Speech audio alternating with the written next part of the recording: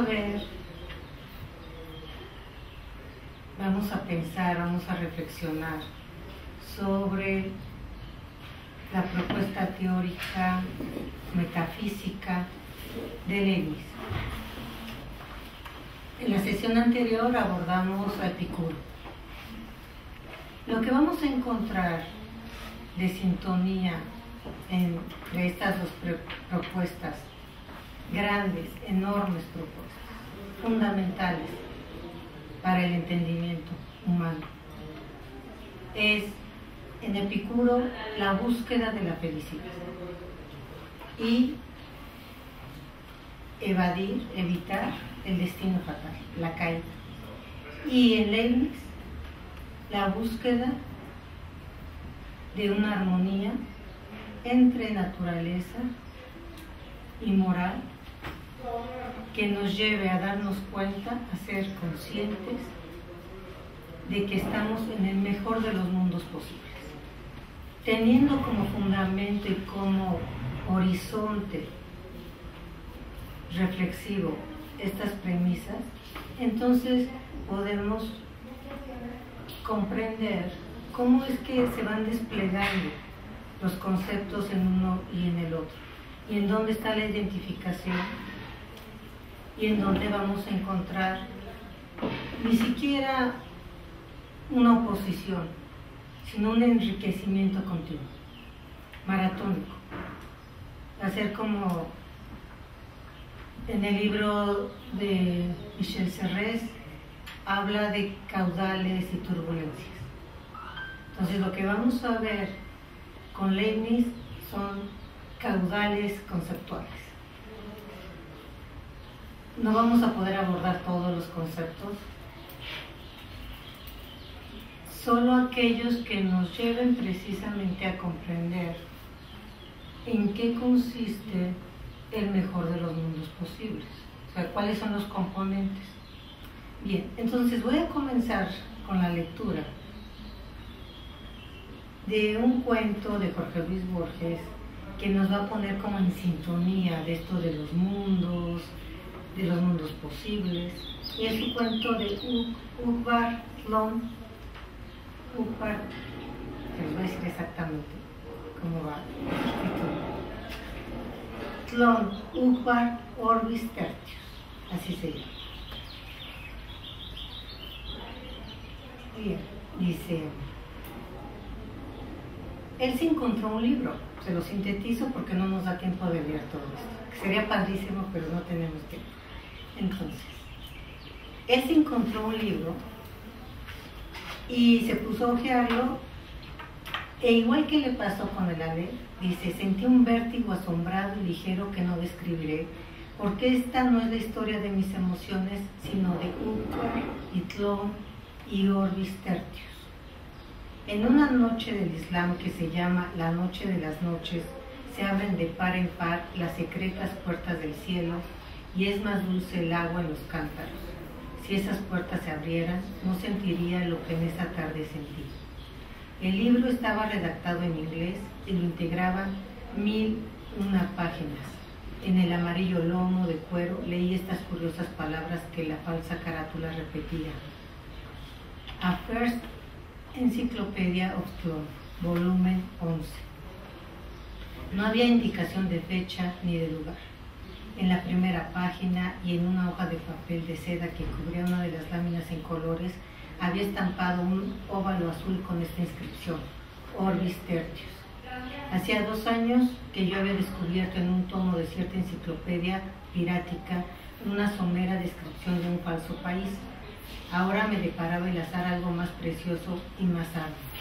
Ahora tenía en las manos un vasto fragmento metódico de la historia total de un planeta desconocido, con sus arquitecturas y sus barajas, con el pavor de sus mitologías y el rumor de sus lenguas, con sus emperadores y sus mares, con sus minerales y sus pájaros y sus peces, con su álgebra y su fuego, con su controversia teológica y metafísica, todo ello articulado, coherente, sin visible propósito doctrinal o tono paródico. En el onceno tomo de que hablo hay alusiones a tomos ulteriores y precedentes. ¿Quiénes inventaron la flor? El plural es inevitable, porque la hipótesis de un solo inventor, de un infinito Leibniz sobrando en la tiniebla y en la modestia, ha sido descartada unánimemente. Se conjetura desde New World es obra de una sociedad secreta de astrónomos, de biólogos, de ingenieros, de metafísicos, de poetas, de químicos, de algebristas, de moralistas, de pintores, de geómetras, dirigidos por un oscuro hombre de genio. Abundan individuos que dominan esas disciplinas diversas, pero no los capaces de invención y menos los capaces de subordinar la invención a un riguroso plan sistemático. Ese plan es tan vasto que la contribución de cada escritor es infinitesimal. Al principio se creyó que Tlón era un mero caos, una irresponsable licencia de la imaginación. Ahora se sabe que es un cosmos y las íntimas leyes que lo rigen han sido formuladas siquiera en modo provisional. Básteme recordar que las contradicciones aparentes del onceno tomo son la piedra fundamental de la prueba de que existen los otros. Tan lúcido y tan justo es el orden que se ha observado en él. Las revistas populares han divulgado con perdonable exceso la zoología y la topografía de Tlón. Yo pienso que sus tigres transparentes y sus torres de sangre no merecen tal vez la continua atención de todos los hombres. Yo me atrevo a pedir unos minutos para su concepto del universo. Bueno, esto ya nos pone en sintonía de lo que vamos. ¿De qué es que nos está hablando Leibniz en su armonía preestablecida del mundo? Bien, para esto tenemos un aliado para poder descifrarlo. Si nosotros nos vamos solamente a la monadología, corremos el riesgo de entender la muy literalmente y no poder extraer la riqueza que está ahí implícita. Podemos entender cosas explícitas, sin embargo tenemos nosotros un aliado excelente que es Deleuze, que en su libro El Leibniz de Deleuze, Exasperación de la Filosofía, que es la lectura que hicimos, nos va a dar unas claves, unas claves que en mi opinión son fundamentales para saber de qué va todo esto. Entonces, se las voy platicando como si fuera un cuento, una historia, ¿sí? para que se nos haga más digerible todo esto de los principios, de las verdades de razón, las verdades de hecho, el principio de contradicción e identidad, las razones mm, y los indiscernibles. Es decir, como toda esta serie de conceptos los vamos a ir hilando para poder llegar a nuestro objetivo de saber ¿De qué está hablando cuando habla del mejor de los mundos posibles? Hacia allá es que buscamos arribar. Y efectivamente nada de esto va a ser, va a ser sencillo. Esto es, no podemos nosotros pensar que algo de esto lo podemos comprender de forma separada. lo vamos a poder comprender precisamente como él nos enseña de una manera muy pedagógica. Deleuze nos dice que Leibniz es un maestro sobre todo. Entonces, comencemos por el principio de la continuidad. Todo está unido, nada está separado. Nada existe por sí mismo.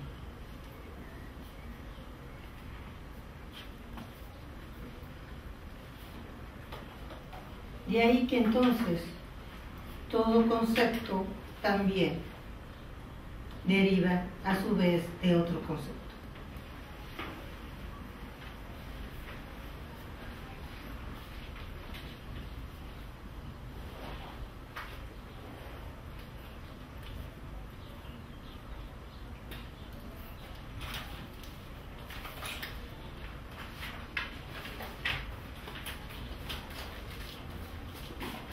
Y precisamente sobre los conceptos, Deleuze nos dice, un filósofo es para mí alguien que crea conceptos. Esto involucra muchas cosas, que el concepto sea algo por crear, que el concepto sea el término de una creación.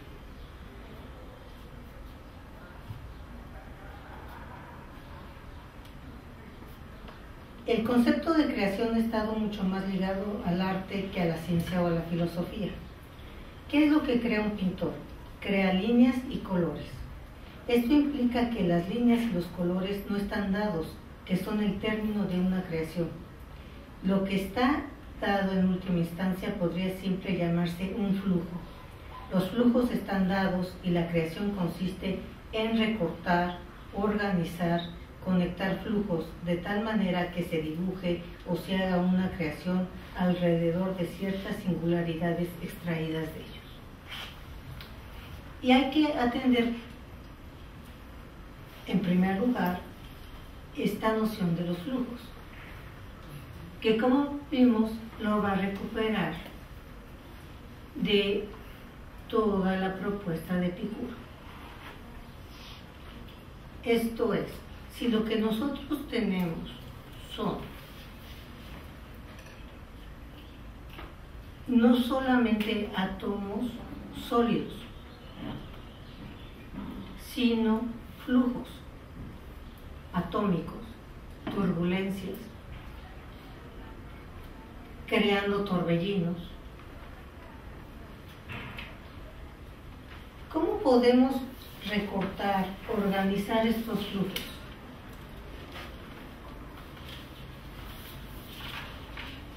Esto quiere decir que el mundo como tal va a tener un carácter inaprensible.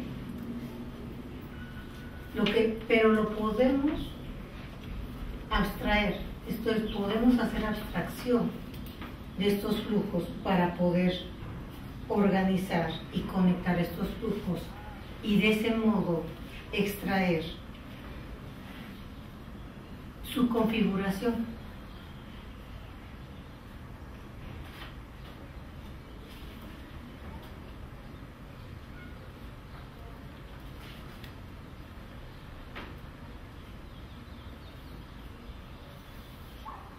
Bien.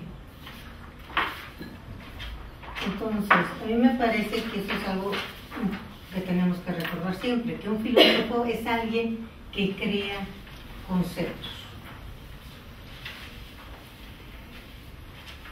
Luego, algo muy importante. De cierto modo, el filósofo no es alguien que canta, es alguien que grita.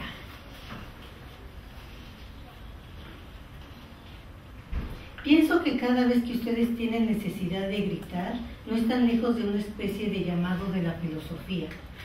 ¿Qué quiere decir que el concepto sería una especie de grito o una especie de forma del grito? Es eso, tener necesidad de un concepto es tener algo que gritar. Habrá que encontrar el concepto de ese grito. Esto nos está diciendo que para Leibniz era indispensable darle forma a esta necesidad, a este grito que tenía.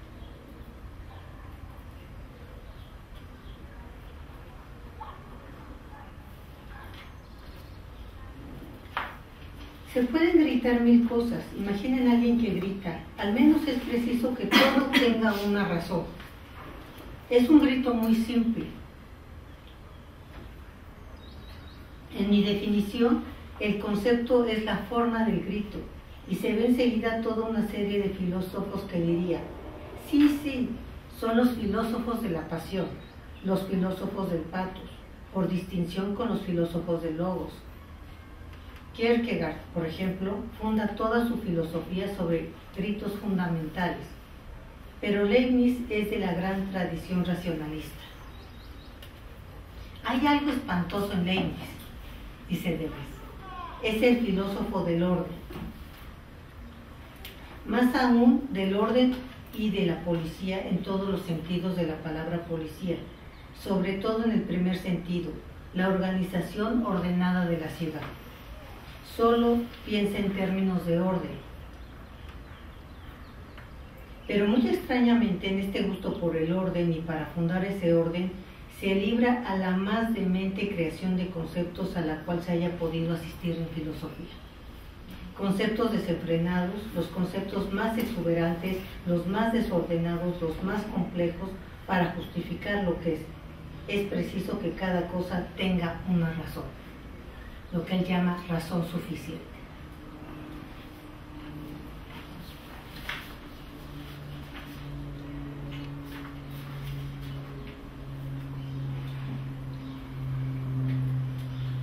Dicen de él, de su biografía, que era muy buen matemático, gran físico, muy buen jurista, numerosas actividades políticas, siempre al servicio del orden, sirvió en varias cortes, a varios aristócratas, mm,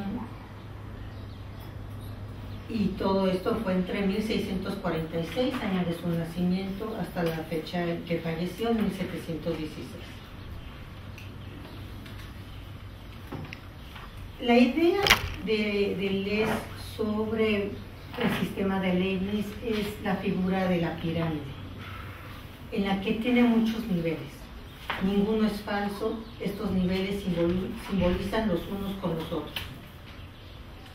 Leibniz es el, es el primer gran filósofo en concebir la actividad y el pensamiento como una vasta simbolización. Así pues, todos estos niveles simbolizan pero están todos más o menos próximos de lo que podríamos llamar provisoriamente el absoluto. Esto es que no pensemos nosotros en una pirámide, digamos, en donde están separadas como las, y que podemos encontrar láminas o capas que separan cada nivel, sino que vamos a encontrar más bien la configuración del pliegue, que es la otra lectura que nosotros hicimos. La configuración del pliegue.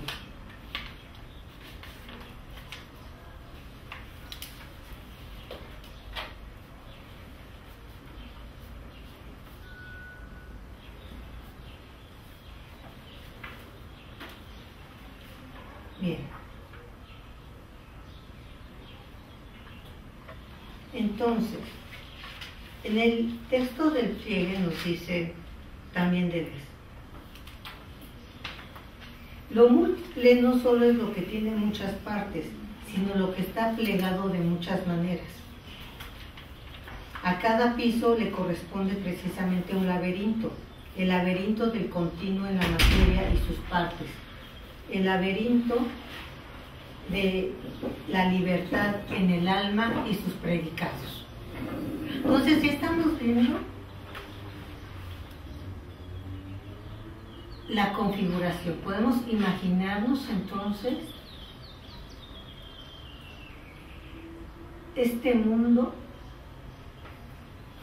de Leibniz como un continuo de pliegues. ¿Sí? Una continuidad serial.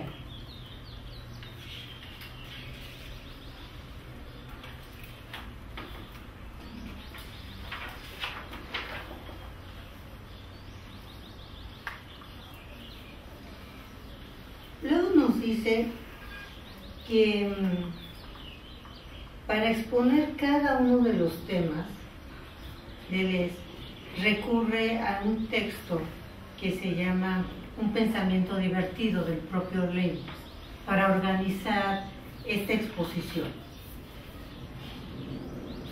de sus conceptos, de los principios.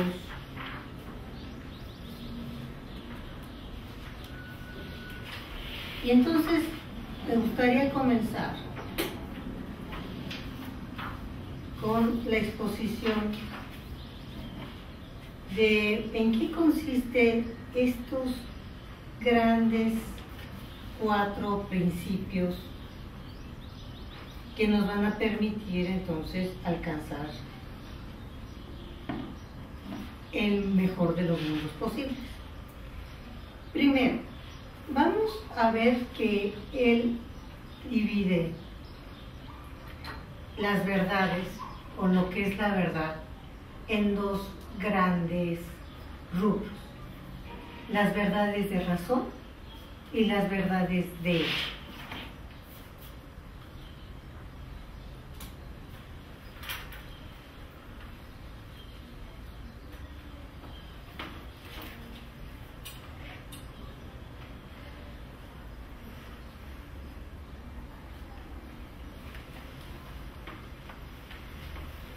Y entre las verdades de razón comienza con el principio de identidad o de no contradicción. Por lo que A es A. Esto es, su opuesto no es posible. No es posible decir A no es A, sino A es A. Ese va a ser el principio de identidad y es una verdad de hecho. Luego vamos a tener la... Mm, antes tengo que decir que buena parte de cómo él elabora estos componentes de sus principios los toma también los desarrollos de Aristóteles sobre las causas. Entonces, bueno, él habla de la causa material, de la causa formal, de la causa motriz o eficiente y de la causa final.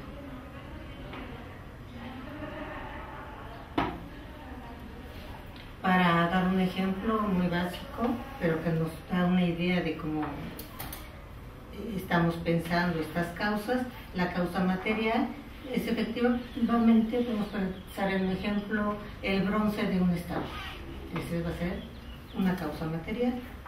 La causa formal va a ser la forma del estatua. La causa motriz o eficiente va a ser el escultor. El que le da movimiento, el que le da una forma a ese bronce. Y la causa final es, ¿para qué? ¿Cuál es el fin de este estatua? Adornar, ¿ah? honrar, adornar un espacio.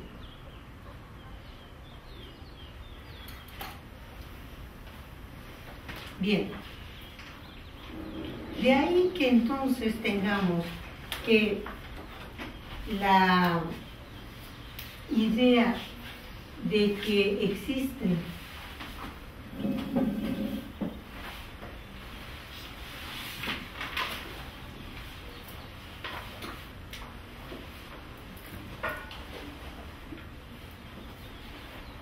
entonces que existe esta vamos a regresar al primer principio. En la página 23 de sus lecturas dice, el flujo de pensamiento de todos los tiempos arrastra consigo un famoso principio que tiene un carácter muy especial. Es uno de los pocos principios de los que se puede estar seguro y al mismo tiempo no se ve en absoluto qué nos aporta. Es cierto, pero vacío. Este célebre principio es el principio de identidad, que tiene un enunciado clásico. A es A. Esto es seguro. Si digo lo azul es azul o Dios es Dios, no digo por ello que Dios exista, en un sentido estoy en lo cierto, pero pienso algo o no pienso cuando digo que A es A.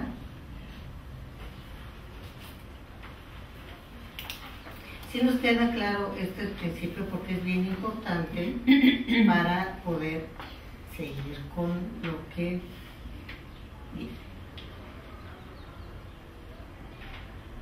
Me gustaría leerles algo más de este principio.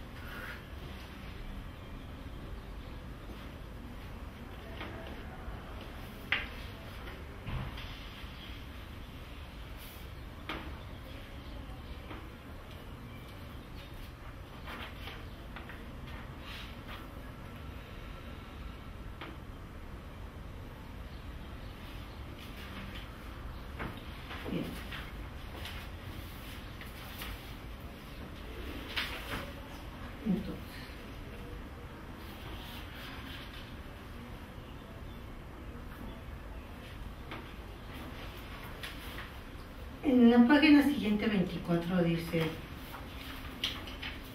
Leibniz surge bajo la forma de un grito muy extraño.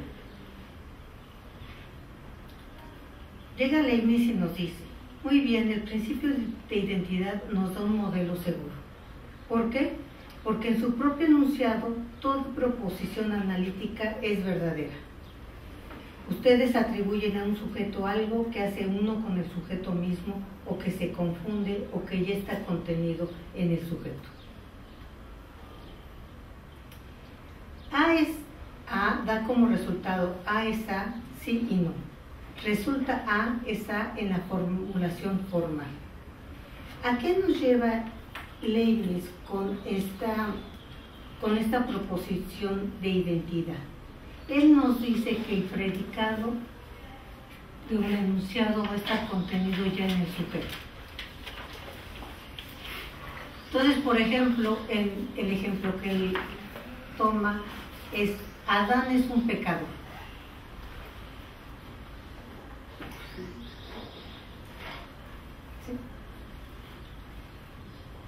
Este principio de identidad está ahí ya operando. Se podría pensar, el principio de identidad no permite pensar lo opuesto. No nos permite pensar Adán no es un pecado, sino Adán es un pecado.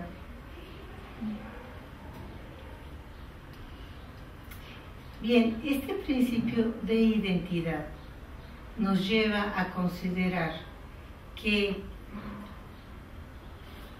esta verdad y razón en la que lo opuesto no es posible, está relacionada con las verdades de hecho,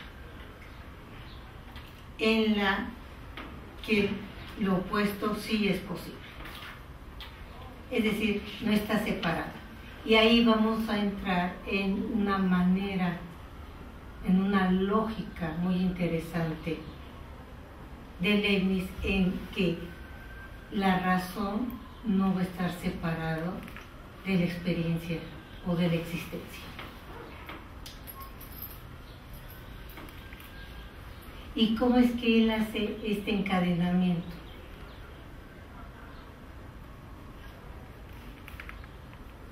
Él va a tomar para poder decir, es posible pensar a Adán como un no pecador. y entonces hace algo mágico en palabras de Dios. Él dice, sí, en otro mundo. Ahora, en este mundo, Adán siempre va a ser un pecador, pero en otro mundo, Adán no es un pecador.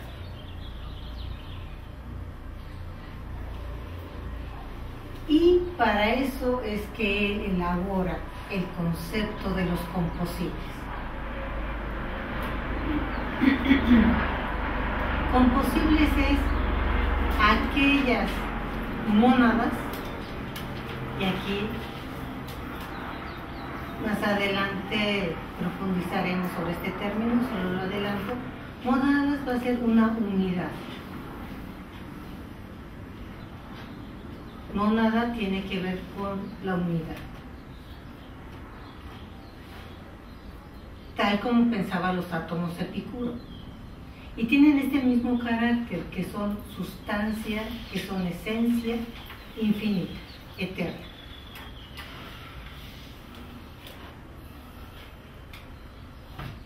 Estas son eternas, jamás desaparecen, solo se transforman. Van a tener una transformación continua.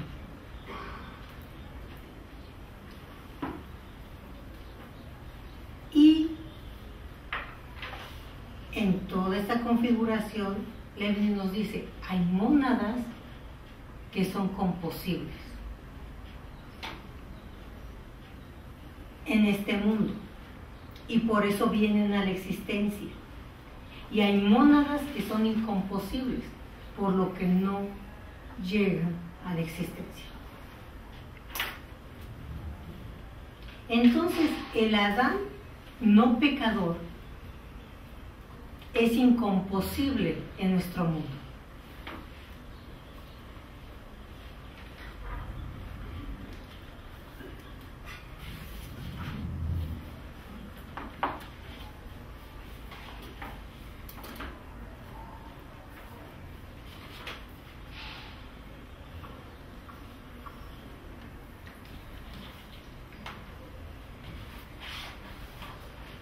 Entonces, en este rubro de las proposiciones verdaderas o, verdades de razón, dice, toda proposición verdadera debe ser analítica, es decir, tal que atribuya algo a un sujeto y que el atributo esté contenido en la noción del sujeto.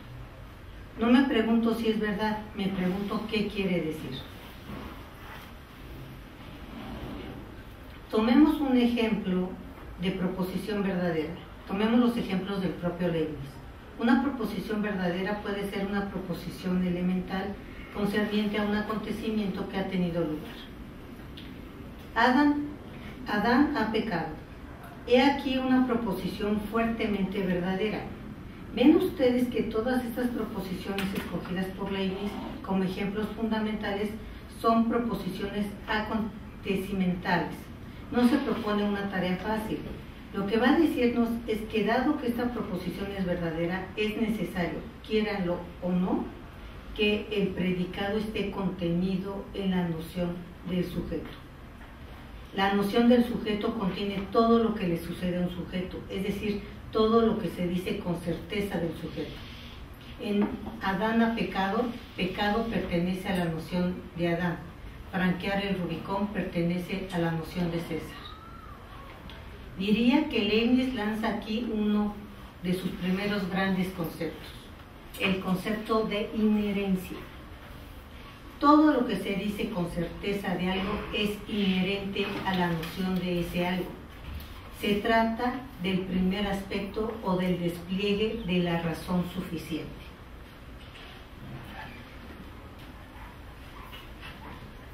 Y este carácter que nos permite decir de un sujeto como Adán, que es pecador,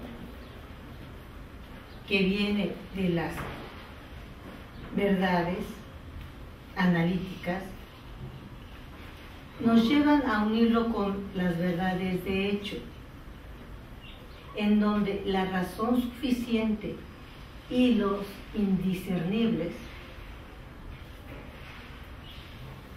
van a permitirnos diferenciarnos. Es decir, nosotros podemos pensar a Adán porque es pecado o a César porque cruzó el Rubicón. Pero del mismo modo cada uno de nosotros puede contener este carácter de composible. Esto es se nos puede, podemos hacer de cada uno de nosotros un concepto. La unión entonces del predicado, es decir, de lo que se dice del sujeto, configura un concepto.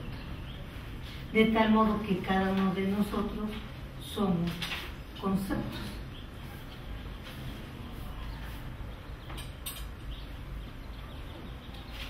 Y ese concepto es lo que nos hace discernibles.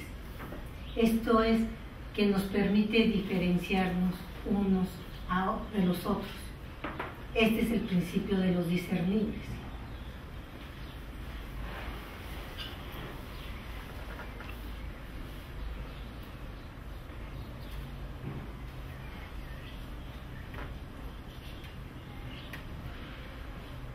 Cuando decimos esto, cuando hemos comenzado en el dominio del concepto, ya no podemos detenernos. En el dominio de los gritos hay un famoso grito de Aristóteles. el gran Aristóteles que por otra parte ha ejercido una influencia muy fuerte sobre Leibniz. Lanza en un momento de la metafísica una fórmula muy bella. Es necesario detenerse. Se trata de un gran grito. Es el filósofo ante el abismo del encadenamiento de los conceptos. Leibniz se ha vuelto loco, no se detiene. ¿Por qué?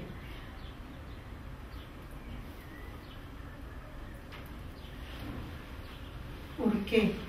¿Por qué esta elaboración frenética de conceptos?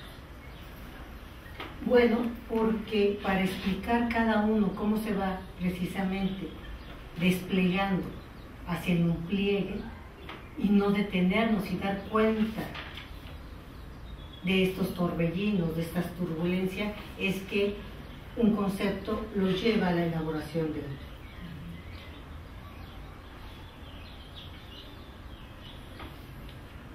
el principio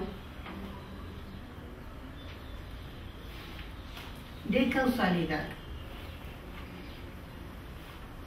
que va de la mano del principio de no contradicción o identidad es el principio de causa eficiente que lo va a retomar de Aristóteles.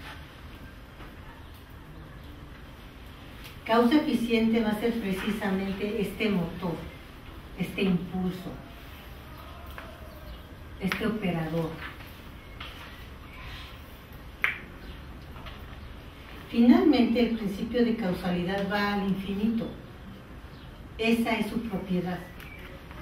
Y se trata de un infinito muy particular, puesto que de hecho va hacia lo indefinido. El principio de causalidad dice que todo tiene una causa, lo cual es muy diferente a decir que todo tiene una razón. La causa es una cosa y ella a su vez tiene una causa.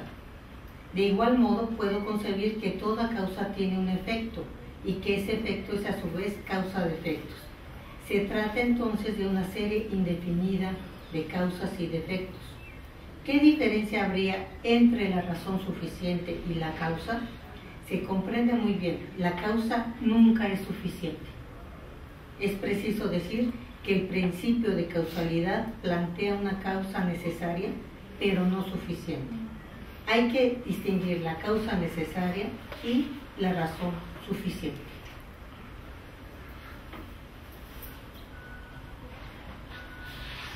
Esto es en términos de Leibniz, no hay una causa que pueda dar razón de sí misma, porque siempre la preceden, están precedidas por otra causa.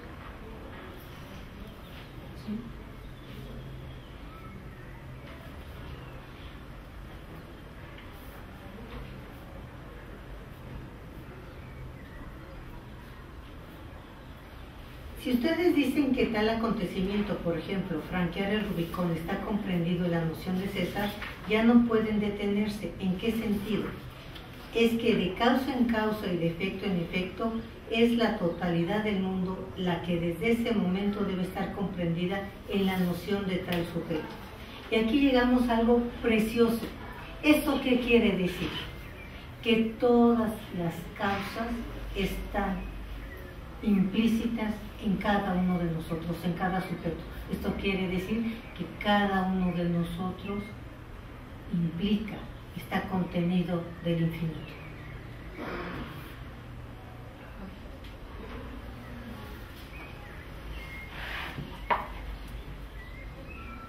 Esto se vuelve curioso. He aquí que el mundo pasa al interior de cada sujeto o de cada noción de sujeto.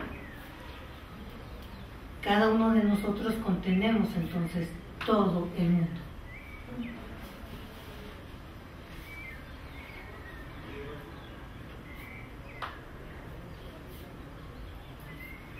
En efecto, franquear el Rubicón tiene una causa. Esta causa posee ella misma múltiples causas. De causa en causa es toda la serie del mundo la que pasa allí, al menos la serie antecedente. Además, franquear el Rubicón tiene efectos. Si me quedo en los grandes efectos, la instauración de un imperio romano. A su vez, el imperio romano tiene efectos, nosotros dependemos de él directamente.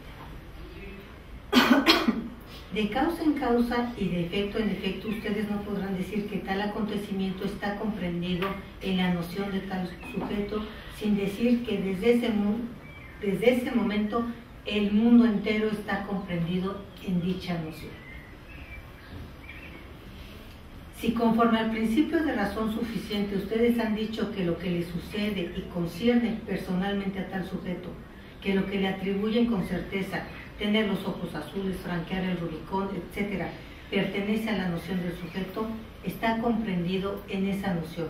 Ustedes ya no podrán detenerse. Es preciso decir que ese sujeto contiene el mundo entero. Ya no se trata del concepto de inherencia o de inclusión, se trata del concepto de expresión. ¿Qué expresa cada sujeto? Expresa la totalidad del mundo.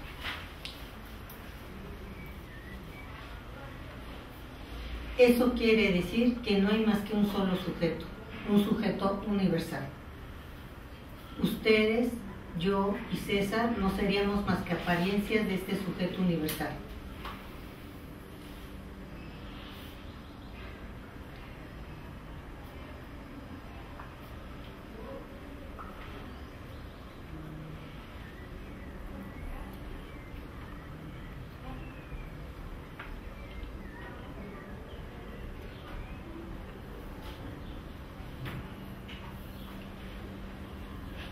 ¿Por qué es nos pregunta que el concepto vaya hasta lo individual? Porque nunca nadie había osado decir algo así. ¿Qué es el concepto? Se define en el orden de la generalidad. Hay concepto cuando existe una representación que se aplica a muchas cosas.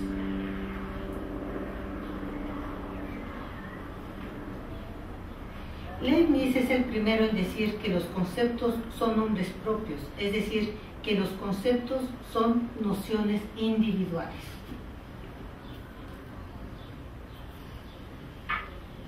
En efecto, esa será una de las grandes originalidades de Leibniz.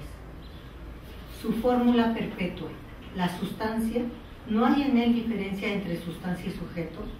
Estamos hablando cuando hablamos de sujeto en Leibniz, hablamos de sustancia, hablamos de mónada. Se trata de la sustancia César, la sustancia usted, la sustancia yo, etc., ya que se ha bloqueado la vía de invocar un espíritu universal en el cual el mundo estaría incluido. Otros filósofos invocarán un espíritu universal,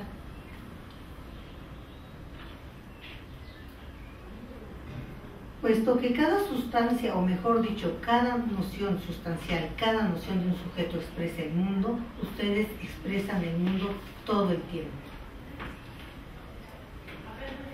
De ahí estos principios que ya vimos entonces, el principio de identidad o de no contradicción, la causa eficiente, la razón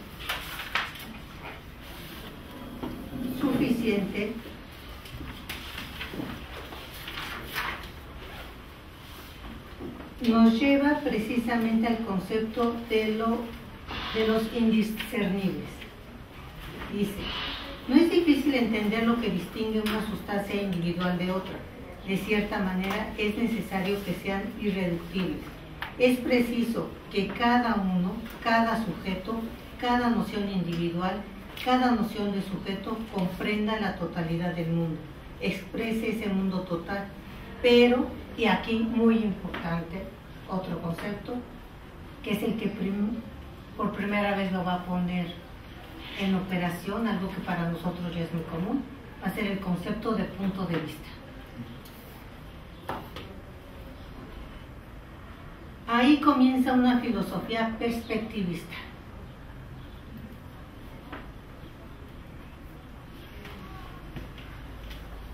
Ustedes me dirán, ¿existe algo más banal que la expresión un punto de vista? O sea, para nosotros ya como que, bueno, sí, cada quien tenemos un punto de vista. Eso, ¿qué? O sea, ¿por qué tiene que ser un concepto y por qué no tenemos que trabajar y pensar? No, no se ya, da ya por sentado que todos tenemos una perspectiva. Bueno, antes de Leibniz no estaba expresado como ahora. Vamos a ver si nosotros ya somos sujetos modernos, lo podemos pensar de que es banal y común, pero no así en el momento en que lo elaboró Leibniz. Si la filosofía es la creación de conceptos, ¿qué quiere decir crear conceptos? A grosso modo son fórmulas banales. Los grandes filósofos tienen cada uno fórmulas banales a las cuales hacen guiños. Un guiño del filósofo es en última instancia tomar una fórmula banal y desternillarse de risa. No saben lo que voy a poner ahí adentro. ¿Qué implica hacer una teoría del punto de vista? Podía hacerse en cualquier momento. Es azaroso que haya sido Leibniz quien produce la primera gran teoría en el momento en que crea él mismo un capítulo de geometría particularmente fecundo, el de la geometría llamada proyectiva. Es por azar que esto pasara al final de una época en la que son elaboradas tanto en arquitectura como en pintura toda clase de técnicas de perspectiva. Comprendan a dónde quiere llegar Leibniz. Va a decir que cada noción individual expresa la totalidad del mundo. Sí, pero desde un cierto punto de vista. ¿Qué quiere decir esto? Banalmente, prefilosóficamente, no significa nada y en esa misma medida tampoco aquí puede Leibniz detenerse. Esto lo compromete a mostrar que lo que constituye la noción individual en tanto individual es un punto de vista.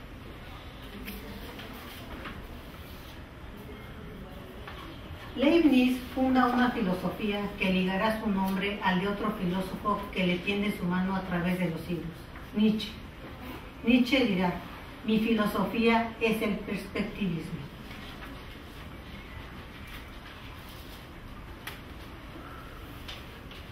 De ahí que entonces lo que me hace discernible, o sea, lo que me permite diferenciarme de las otras monadas,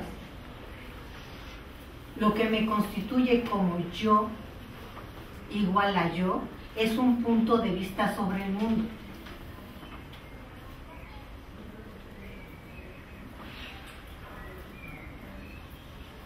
La noción individual, vean qué importante es esto, es el punto de vista bajo el cual el individuo expresa el mundo. Es bello e incluso poético, James posee suficientes técnicas para que no haya sujeto, deviene tal o cual sujeto aquel que está determinado a estar en tal punto de vista. Es el punto de vista el que explica al sujeto y no a la inversa. Esto es, que yo no me voy a explicar por ser reina o cada quien por ser, sino va a ser la expresión de su punto de vista lo que nos va a hacer discernibles.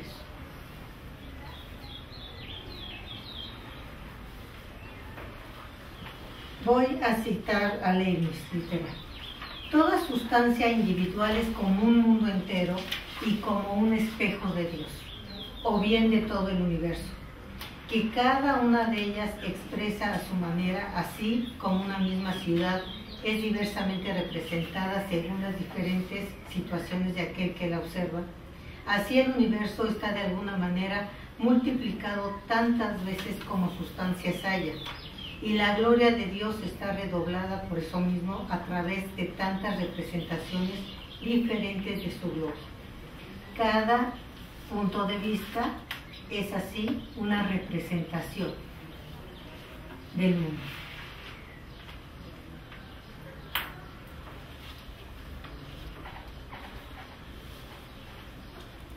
Esto evitaría la representación del mundo con mayúscula, es decir, no hay una única representación.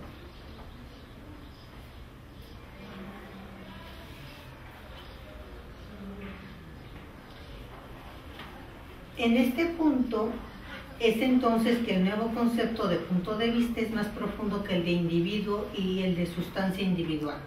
El punto de vista será quien definirá la esencia, la esencia individual.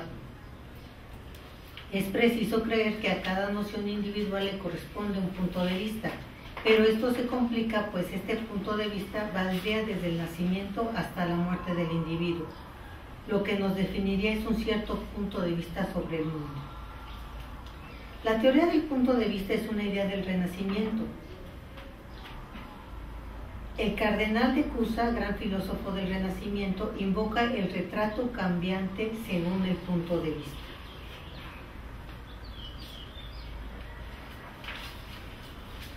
En el tiempo del fascismo italiano se veía casi por todos lados un retrato muy curioso. De frente representaba Mussolini, desde la derecha representaba su yerno, y si uno se ponía a la izquierda representaba al rey. Al rey. Esto es, desde distintas perspectivas tú puedes observar distintas cosas. También es evidente que el análisis de los puntos de vista en matemáticas está ligado a la geometría proyectiva y es Leibniz quien ha hecho en este capítulo un considerable progreso, bajo el nombre de análisis situs. Ahora, ¿qué quiere decir que cada uno exprese el mundo desde su propio punto de vista?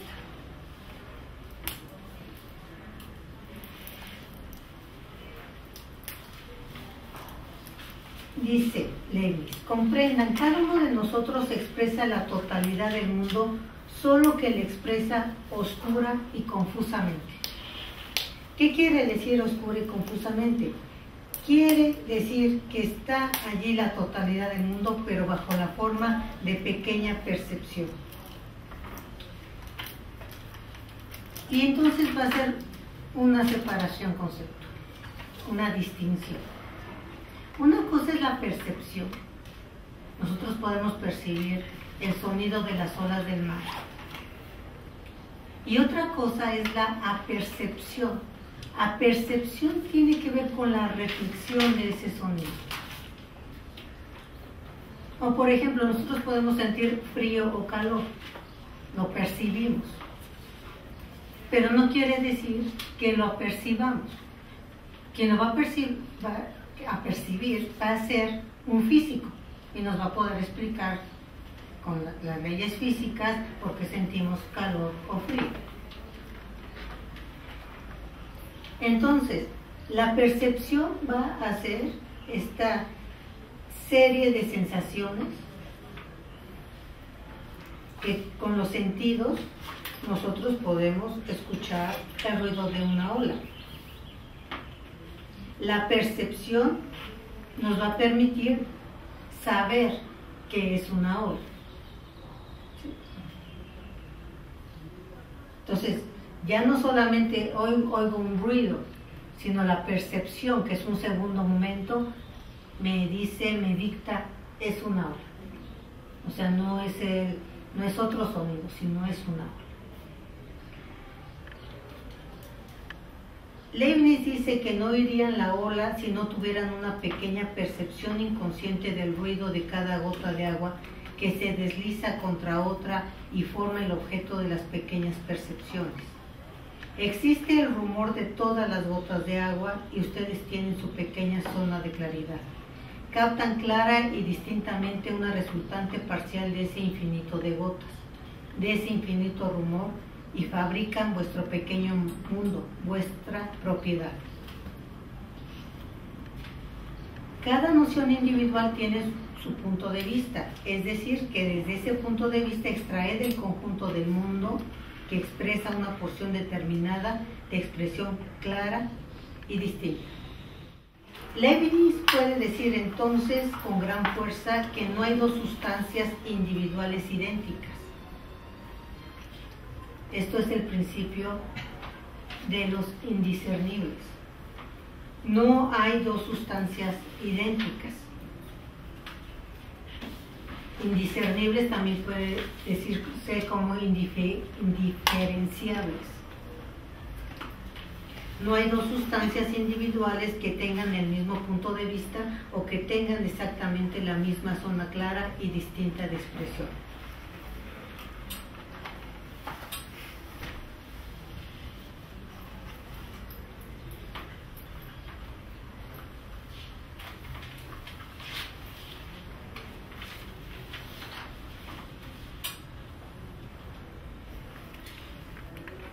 Bien, entonces, recapitulando un, un poco, las verdades regidas por el principio de identidad son tales que su contradictorio es imposible, mientras que las verdades regidas por el principio de razón suficiente tienen un contradictorio posible.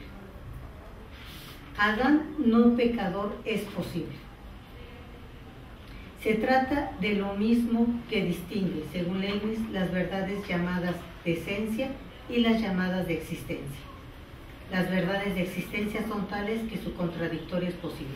Esto es otra forma de nombrar a las verdades de razón o a las verdades analíticas, son verdades o, y las verdades de hecho también son verdades de existencia. Y en estas verdades de existencia o de hechos, su contradictorio, o sea, su opuesto, es posible. En las verdades de razón o analíticas, su opuesto no es posible.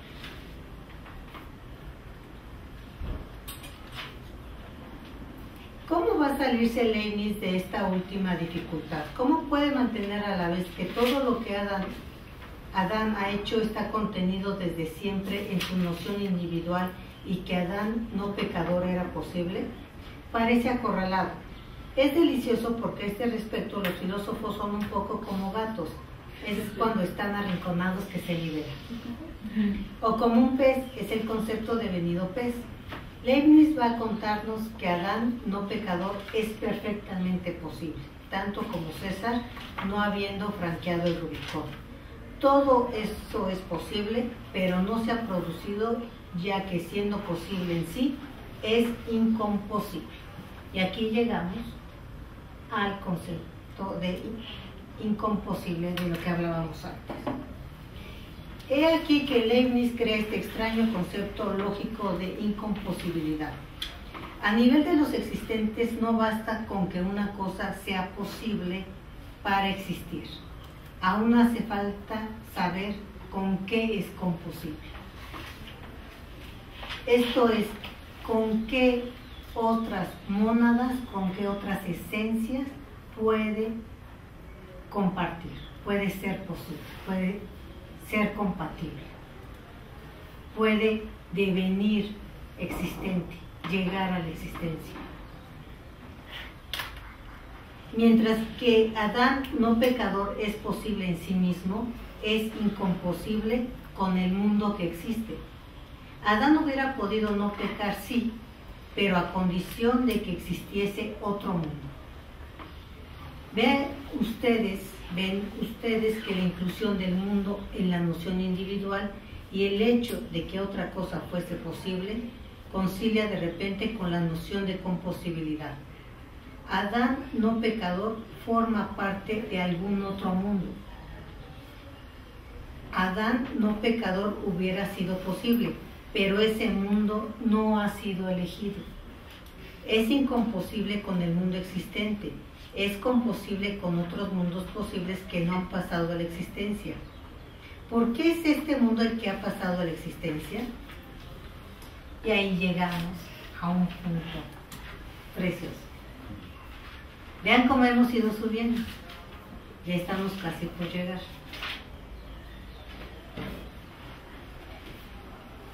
¿Cuál es ese mundo que sí existe? El que ha pasado la existencia. Leibniz explica lo que es, según él, la creación de los mundos por Dios. Se ve bien en qué se, en qué se trata de una teoría de los juegos. Dios concibe en su entendimiento una infinidad de mundos posibles. Solo que estos mundos no son composibles los unos con los otros.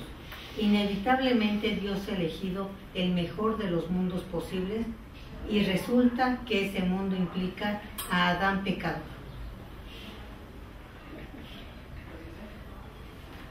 Esto es, que Dios tenía a la mano otros tantos mundos, muchos, infinitos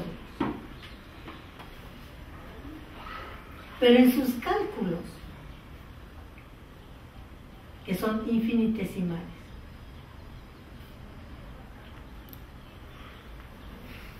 y en donde la producción de este mundo lleva la impronta de la razón suficiente.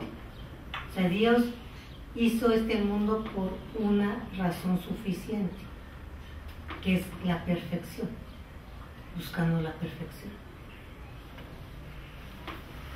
¿Por qué eligió este mundo?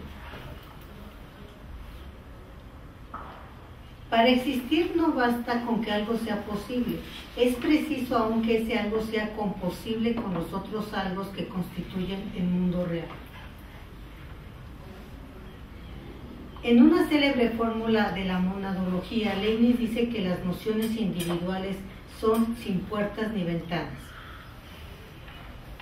Esto viene a corregir la metáfora de la ciudad. Sin puertas ni ventanas quiere decir que no hay abertura.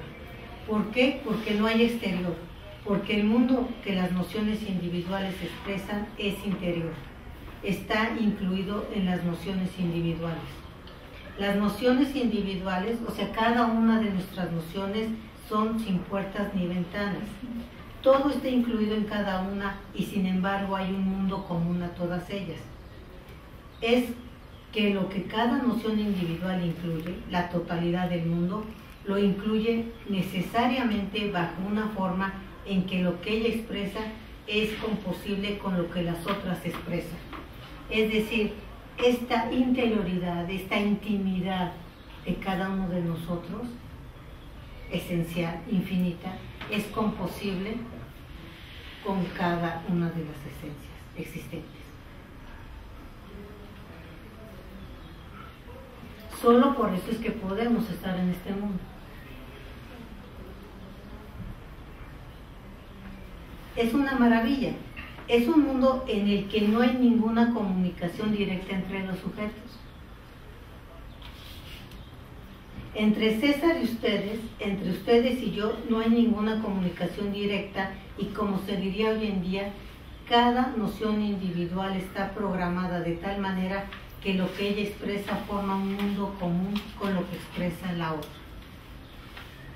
Es uno de los últimos temas, la armonía preestablecida. Con eso comenzamos, ¿recuerdan? La armonía preestablecida. Es una armonía absolutamente programada, es la idea del autómata espiritual. Cada noción individual es como un autómata espiritual. Y aquí no es el sentido del autómata, algo así como un zombie, como una máquina no pensante. Autómata en el sentido de que está referido, está volcado a esta interioridad, a este mundo propio, a este punto de vista, que es el que le define, que es el que le distingue.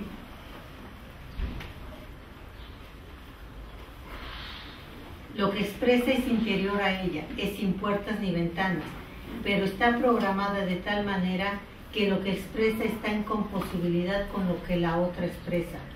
Lo que he hecho hoy ha sido únicamente una descripción del mundo de leyes.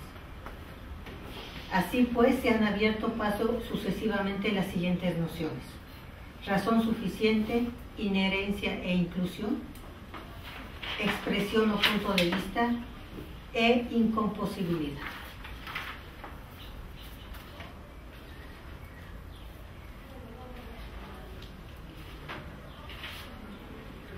Bien.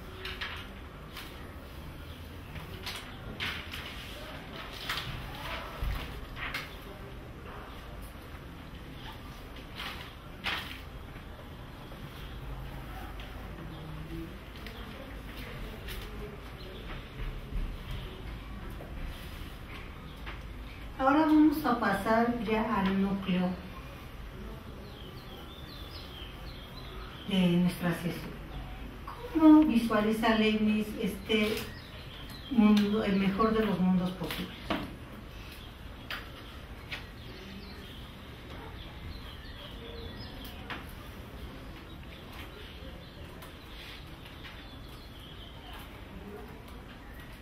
Dice, lo que quiere decir es que a cada nivel se trata de un mundo posible. Dios ha elegido hacer pasar a la existencia el último mundo más próximo a la punta de la pirámide. ¿En qué se basa para elegir ese? Veremos. No hace falta precipitarse, pues será un duro problema cuáles son los criterios de la elección de Dios. Pero una vez dicho que ha escogido tal mundo, ese mundo implicaba a Adán pecador. Evidentemente todo esto es simultáneo, se trata de variantes. Podemos concebir otra cosa y cada vez se trata de un mundo. Cada uno de ellos es posible. Todos tienden a pasar a la existencia con todas sus fuerzas. Eso quiere decir, todas las sustancias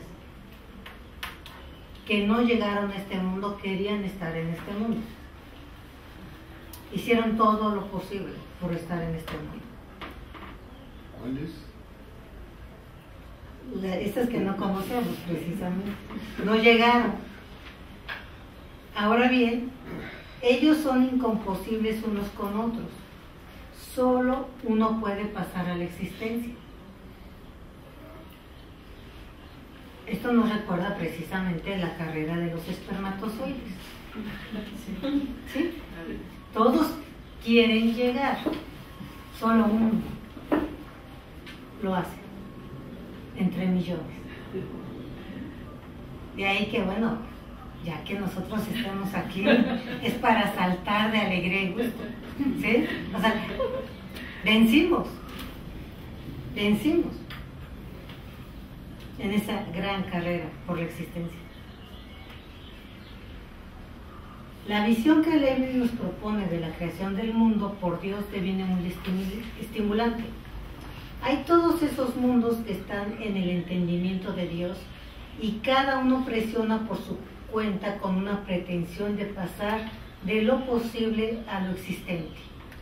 Esto es decir, todos estos mundos están en potencia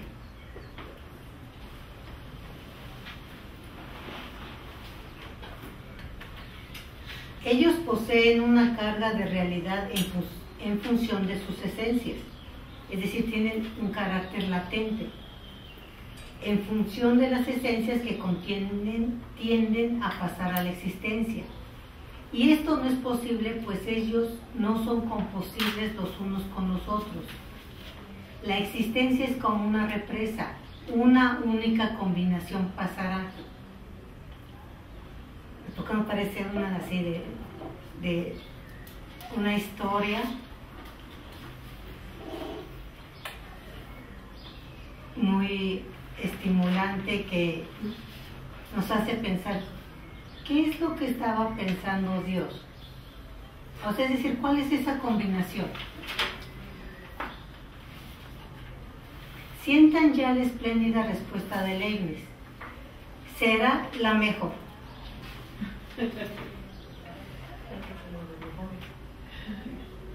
O sea, la combinación que está aquí es la mejor.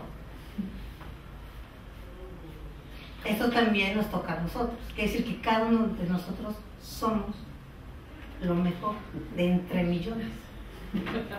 Por eso existimos. ¿Sí?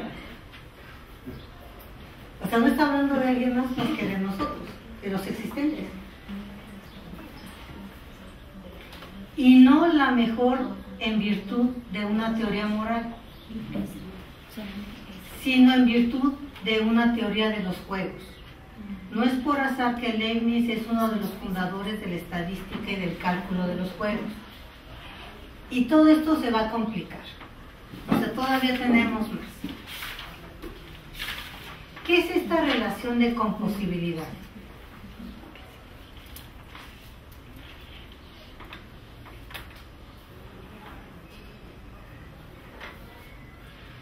¿Qué quiere decir ser leibniziano hoy en día?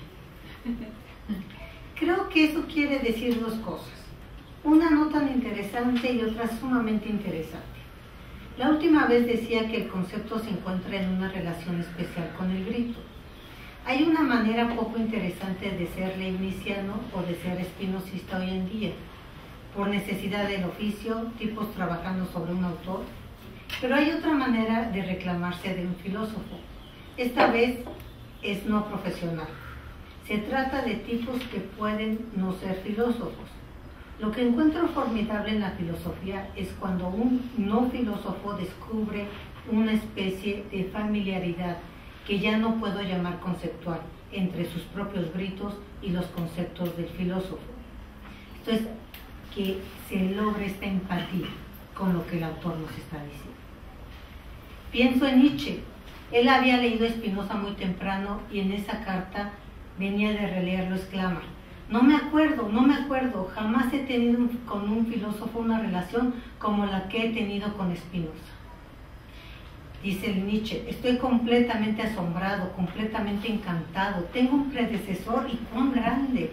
Casi no conocí a Spinoza, fue una acción instintiva la que ahora me impulsa hacia él. No solo que su entera tendencia es semejante a la mía, convertir el conocimiento en el afecto más poderoso, sino que me reencuentro a mí mismo en cinco puntos centrales de su doctrina este pensador más anormal y más solitario me es el más cercano precisamente en estas cosas. Él niega la libertad de la voluntad, los fines, el orden moral del mundo, lo no egoísta, el mal. Aun cuando, por cierto, las diferencias son inmensas, estas radican más en la diversidad de la época, de la cultura, de la ciencia. En suma, mi soledad que a menudo, como en lo más alto de las montañas, me asfixiaba y me hacía bullir la sangre, por lo menos es ahora una soledad de dos. Sorprendente. Es una carta de Nietzsche a Franz Oberbeck. Y esto me interesa aún más cuando se trata de no filósofos. Bien.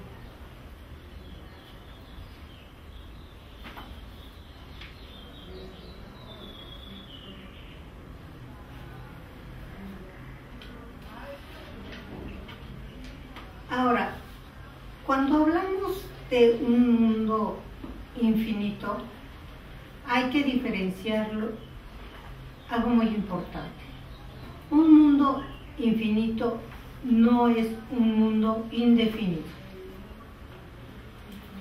Lo indefinido pertenece a lo virtual. Lo indefinido es el hecho de que siempre deba pasar de un término a otro sin detenerme.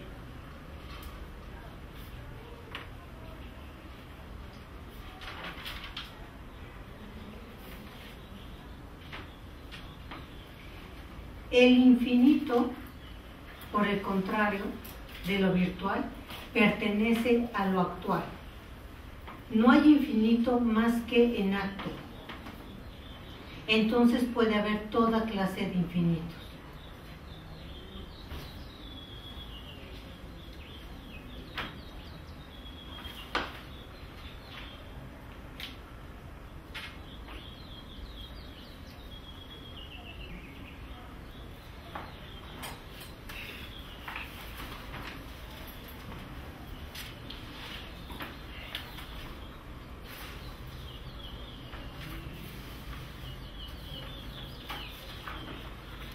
Bien. Entonces, ¿cómo vamos a ligar el concepto de infinito con el mejor de los mundos posibles?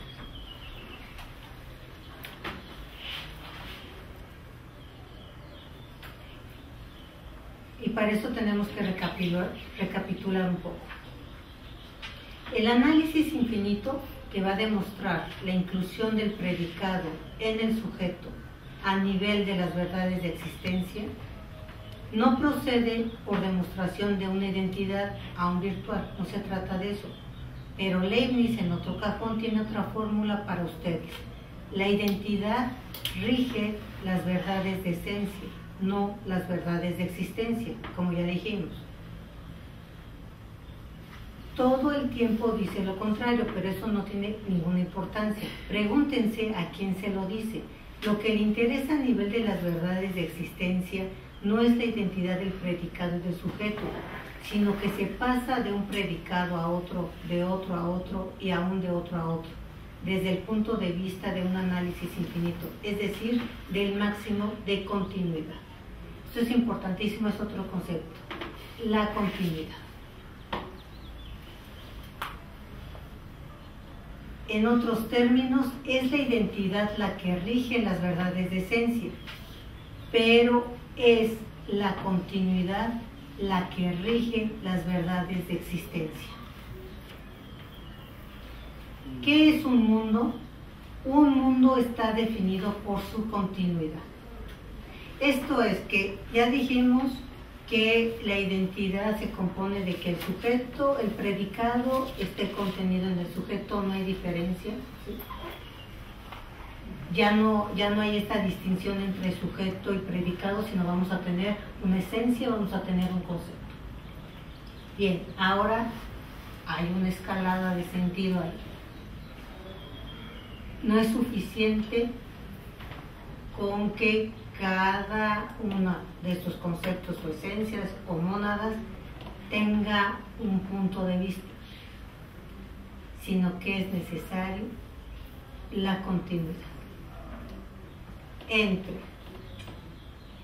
ellas, es decir, aquí es donde se va a hacer la unión entre las verdades de razón y las verdades de existencia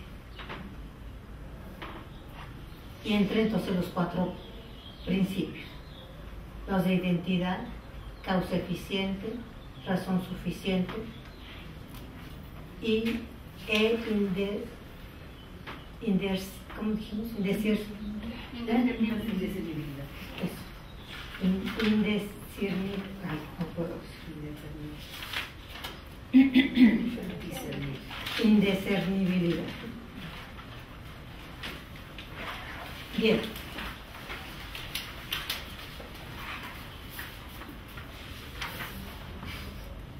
En otros términos, es la identidad la que rige las verdades de esencia, pero es la continuidad la que rige las verdades de existencia. ¿Qué es un mundo? Un mundo está definido por su continuidad. ¿Qué es lo que separa dos mundos incomposibles? El hecho de que haya discontinuidad entre ambos mundos. ¿Qué es lo que define un mundo composible? La composibilidad de la que es capaz.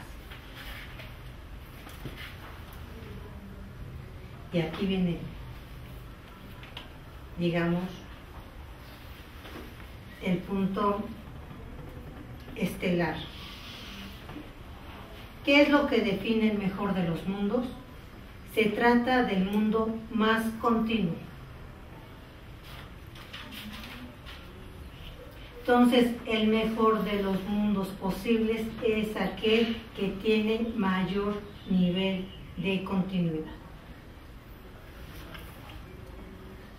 De todos los mundos incomposibles unos con otros y posibles en sí mismos, Dios hará pasar a la existencia aquel que realiza el máximo de continuidad.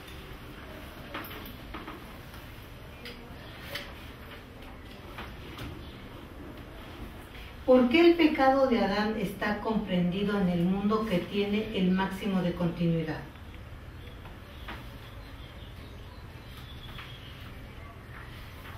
Es preciso creer que el pecado de Adán es una formidable conexión, que es una conexión que asegura continuidades de series. Hay una conexión directa entre el pecado de Adán y la encarnación y la redención por Cristo. Hay continuidad. Hay como series que van a penetrarse, a encajarse más allá de las diferencias de tiempo y de espacio. En otros términos, en el caso de las verdades de esencia, yo demostraba una identidad en la que hacía ver una inclusión. En el caso de las verdades de existencia, voy a revelar una continuidad asegurada por las relaciones infinitamente pequeñas entre dos elementos. Dos elementos estarán en continuidad cuando pueda asignar una relación infinitamente pequeña entre ellos. He pasado de la idea de elemento infinitamente pequeño a la relación infinitamente pequeña entre dos elementos. Pero eso no basta. O sea, todavía no, no llegamos. Si vamos comprendiendo, entonces, el mejor de los mundos posibles es aquel que asegura una mayor continuidad, un máximo grado de continuidad,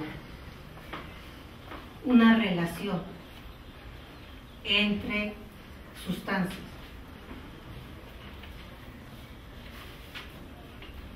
Puesto que hay dos elementos, existe una diferencia entre ambos. Entre el pecado de Adán y la tentación de Eva hay una diferencia. ¿Cuál es la fórmula de la continuidad?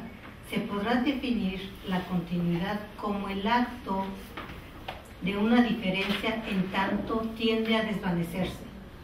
La continuidad es una diferencia evanescente.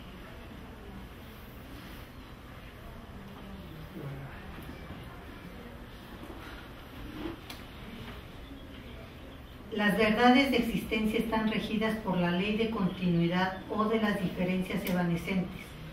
Así pues, entre pecador y Adán jamás podrán demostrar una identidad lógica, pero podrán demostrar, y la palabra demostración cambiará de sentido, una continuidad, es decir, una o algunas diferencias evanescentes.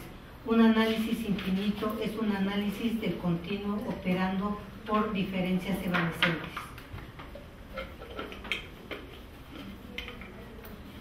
Y aquí entramos a precisamente lo que es el cálculo infinitesimal. Él nos dice que hay estas pequeñas cantidades iguales a cero o movimientos que aparentemente son nada. Él dice, en, términos de Leibniz. Son nadas, pero no son nadas absolutamente, son nadas respectivamente. Es decir, son nadas pero que conservan la diferencia de la relación. Esto es el cálculo diferencial.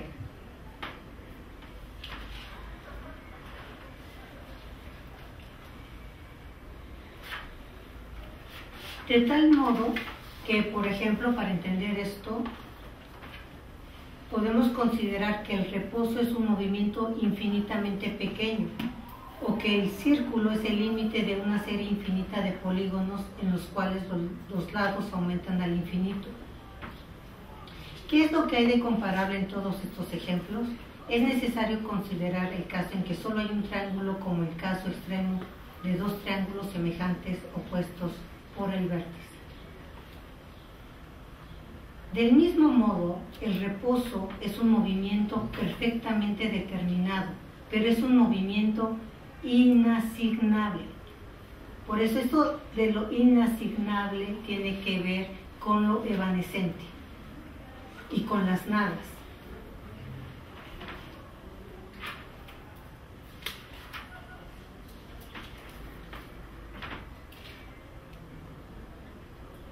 Asimismo, el círculo es un polígono inasignable y no obstante perfectamente determinado.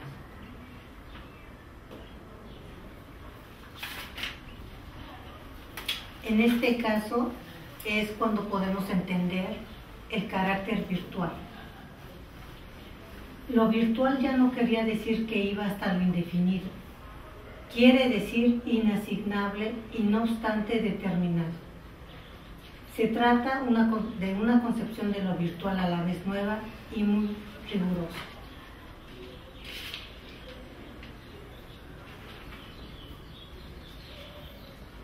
Dice Leibniz, el cálculo diferencial es una convención bien fundada. Sostiene que el cálculo diferencial no es más que un sistema simbólico, no dibuja una realidad, designa una manera de tratar la realidad. Eso es muy importante.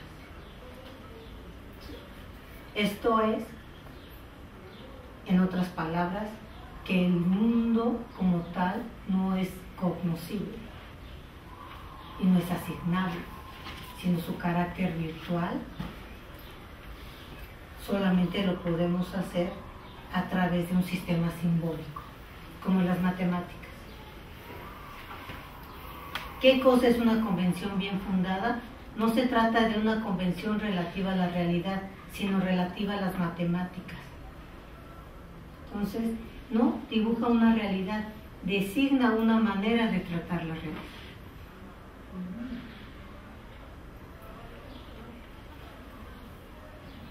El cálculo diferencial pertenece al simbolismo, pero en relación a la realidad matemática, no en relación a la realidad real.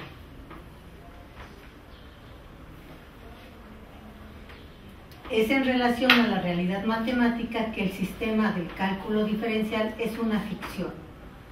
Leibniz emplea el término ficción bien fundada. Es una ficción bien fundada en relación a la realidad de las matemáticas.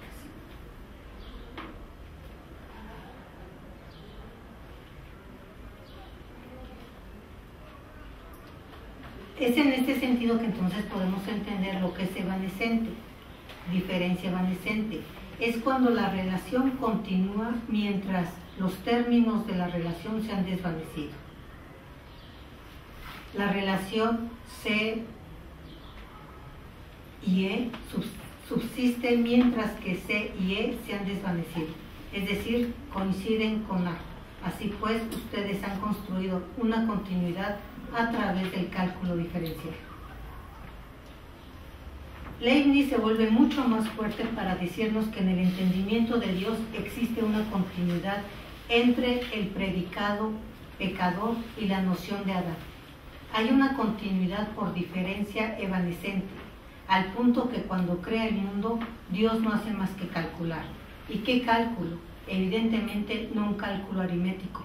Dios crea el mundo calculando, Dios calcula, el mundo se hace. La idea de un Dios jugador la encontramos por todas partes. Siempre podemos decir que Dios ha hecho el mundo jugando, pero todo el mundo lo ha dicho. No es muy interesante. Sin embargo, los juegos no se parecen. Hay un texto de Heráclito donde la cuestión es el niño jugador que verdaderamente constituye al mundo. Él juega, pero ¿a qué juega? ¿A qué juegan los griegos y los niños griegos? Diversas traducciones suministran juegos diferentes. Pero Leibniz no diría eso. Cuando se expresa sobre el juego, oscila entre dos explicaciones. Primero, a través de los problemas de empedrado, a caballo entre las matemáticas y la arquitectura. Estando dada una superficie, ¿con qué figura llenarla completamente? Si ustedes deciden no llenar todo, ¿en qué casos, con qué figuras y con cuáles combinaciones de figuras diferentes llegarán a llenar el máximo posible? Este juego consiste en llenar el máximo posible de un espacio. Esa es la continuidad y recordemos que el mejor de los mundos posibles es aquel que alcanza mayores niveles de continuidad, es aquel que está más lleno. ¿Sí? Vamos captando todo esto. Aquí ya nos sentimos casi en la punta del Everest, ¿verdad? En la cima. Él dice que Dios hace existir y elige el mejor de los mundos posibles. Ya lo hemos visto. ¿Qué dice Leibniz cuando afirma que el mundo que existe es el mejor de los mundos posibles? Algo muy simple. Como hay muchos mundos posibles, ellos no son composibles los unos con los otros. Dios elige el mejor y el mejor, ojo, no es aquel donde se sufre menos. El optimismo racionalista es al mismo tiempo de una crueldad infinita. No se trata en absoluto de un mundo donde no se sufriría. Se trata del mundo que realiza el máximo de círculos Si me atrevo a una metáfora inhumana, es evidente que el círculo sufre cuando no es más que una afección del polígono. Imaginen el sufrimiento del reposo cuando no es más que una afección del movimiento. O sea que dice el reposo, bueno, yo, yo por mí mismo no tengo ¿sí? un, un carácter propio, sino que dependo del movimiento o el círculo, círculo de los polígonos.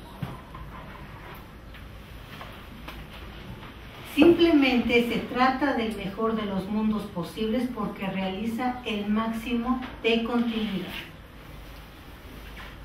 Otros mundos serán posibles porque realiza, pero habría realizado menos continuidad. Este mundo es el más bello, el más armonioso, únicamente bajo el peso de esta frase despiadada, porque efectúa la mayor continuidad posible. Si esto se hace al precio de vuestra carne y de vuestra sangre, poco importa. Como Dios, entonces Dios esconde esta continuidad introduciendo un segmento que debería estar en continuidad con la que el mejor de los mundos será aquel en el que las figuras y las formas llenarán el máximo de espacio-tiempo dejando el menor vacío. Por eso es que en la monada Él nos va a decir, dice, por donde se ve que en la más mínima parte de la materia hay un mundo de criaturas vivientes, animales, entelequias, almas. Entelequias lo va a retomar de Aristóteles y va a querer decir aquella esencia que alcanza la perfección. Cada parte de la materia puede ser concebida como un jardín lleno de plantas y como un estanque lleno de peces, pero cada rama de la planta, cada miembro del animal, cada gota de sus humores es también como ese jardín o ese estanque.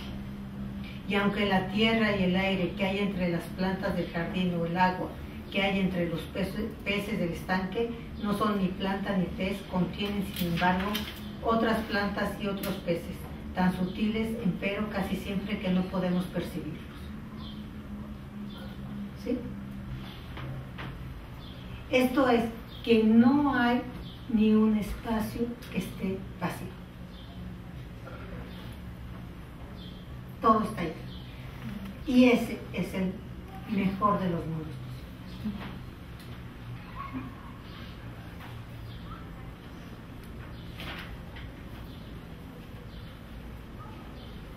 Entonces, para terminar, y ya vamos a, un receso para que vuelva, volvamos a respirar. Así pues, es preciso decir que el mundo que pasa a la existencia es aquel que realiza por sí mismo el máximo de continuidad, es decir, que contiene la mayor cantidad de realidad o de esencia. No puedo decir de existencia, pues existirá el mundo que contiene, no la mayor cantidad de existencia, sino la mayor cantidad de esencia bajo las especies de la continuidad. Precisamente la continuidad es el medio para contener el máximo de cantidad de realidad. Se trata de una visión muy bella como filosofía.